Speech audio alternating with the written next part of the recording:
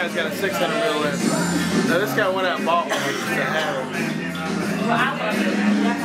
Hey James, get you a straw. Put some bourbon with the honey. Right? Bourbon, put some bourbon in there. What.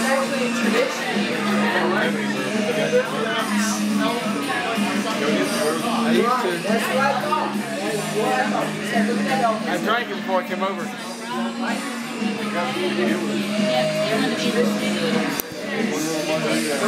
your stabilizer off.